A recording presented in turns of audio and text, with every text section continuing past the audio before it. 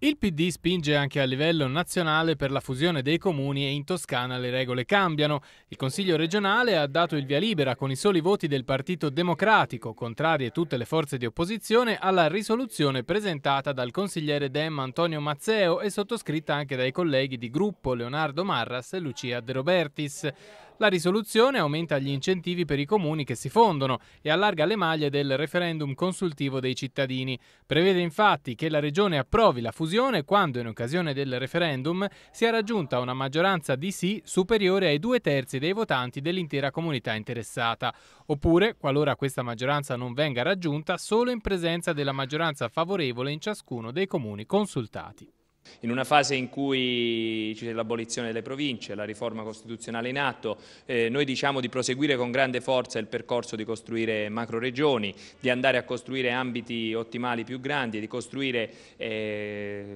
comuni di dimensioni più grandi per poter competere in eh, Europa. Siamo in una fase in cui eh, abbiamo necessità di attirare investimenti, di dare ai cittadini la possibilità di pagare meno tasse e per fare questo servono amministrazioni locali più efficienti. Nella risoluzione si ribadisce anche la necessità di riformare il Consiglio delle autonomie locali e di superare gli attuali organismi di rappresentanza di comuni e province, come UPI, UNCEM e Lega Autonomie, orientando tutte le risorse verso l'ANCI.